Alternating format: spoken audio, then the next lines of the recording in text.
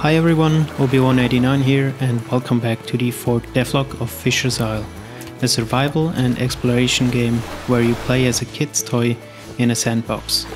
It's been some time, so let's jump into it. In the last devlog I introduced a new pet. You will be able to tame the squirrel monkey with bananas.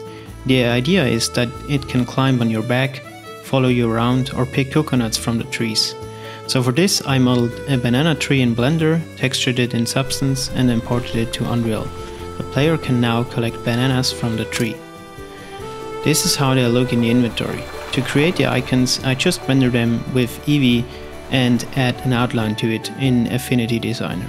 I think this gives everything a consistent style and fits the game quite well. You will be able to plant trees which grow over time. I started looking into vertex animations. In the first iteration I exported the vertex animation as so-called ABC file. The underlying issue here is that you cannot export 3D models with the constraints that you defined in Blender. While this works and looks alright, the data is actually quite heavy, and I'm not sure about the impact on the performance. I then found that there is a script for 3D Max that exports the locations, of the vertices as an image. So the X location is decoded as red, the Y location as green and the Z location as blue. So now we can animate every vertex by sampling a texture. While I don't use 3D Max, I found a forum post of someone who made a Python script which does exactly the same thing in Blender. Awesome! I've put a link to the GitHub page into the video description. Another new item is a treasure map and a drift bottle. Let me quickly find one. I have made the inventory functional, so now I can use the drift bottle to obtain a treasure map. Now let's use the treasure map. I have created this folding animation with the vertex animation process discussed earlier. Maybe you noticed that I made some changes to the island. It's now less circular to give a more natural feel. As you have seen on the map, there's also a second tiny island where the treasure is located. There it is, let's dig. I spent a lot of work on this new feature since the last devlog. It's not just the shader, but the collisions are actually updated at runtime, but more to that later. Let's see what is inside the chest. An axe. Before I use it, let me briefly talk about the runtime mesh component plugin created by Koderz. Unfortunately, you cannot modify Unreal's landscape in runtime, and this is where this plugin steps in. It works similar to the procedural mesh component that is shipped with the editor. It allows for changing meshes and collisions at runtime. However, with a vastly superior performance. This became very apparent when I compared it with my PMC implementation. It took me some time to learn how to use this plugin, and on top of that, it was now compatible with the newest version of Unreal. According to the devs, they did not plan an update for a couple of weeks, so I took matters in my own hands and ported it to Unreal 426. My pull request got merged. This was an interesting experience.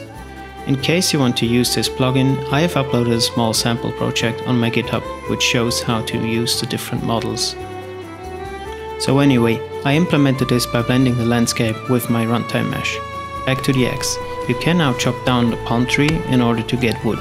Of course you will also be able to chop the banana and Porsche tree to get your hands on different materials such as leaves, wooden beams and sticks. The trees always fall in the opposite direction of where the player is standing. I created this mechanic for the Epic Mega Jam, which I participated in December. I teamed up with three people that I met on Discord. In one week, we created a simple 3D platformer called Tempus Fugit. You can play it for free on itch.io. I was responsible for most of the gameplay mechanics, but also helped out in Blender, where I retopologized the two dinosaurs. It was very stressful, but an experience that I can recommend to everyone. It sharpened my skills in various areas, plus it's nice to have a released game. Back to Fisher's Isle. I finished my day in Night Cycle.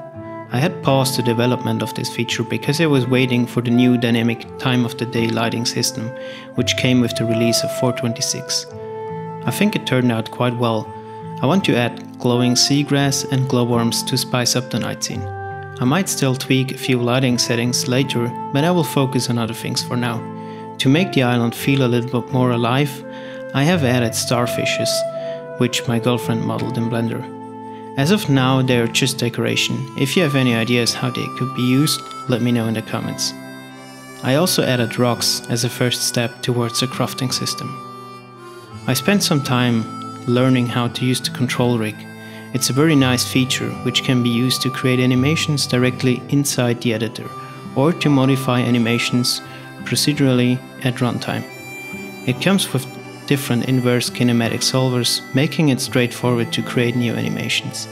I've used it to create a digging animation, and I'm sure it will be helpful to create the monkey petting animations. Another neat feature is that it can be baked onto an existing animation in order to modify them. The next steps will be a basic survival system such as health and stamina bar and the ability to sleep. Furthermore, I want to extend the building system shown in the previous devlog, so that resources are required and new structures can be built. Once all of these things are done, I will start working on the second level, a much larger island with an NPC village and dungeons to fight. If you want to support the development of Fisher's Isle, I would be very happy if you give this video a like and subscribe to my channel. You can also join our Discord server if you want to participate in the development by testing the game and discussing ideas. You can find the invitation link in the video description. If you want to get more regular updates, follow me on Twitter. Thank you for watching, stay tuned.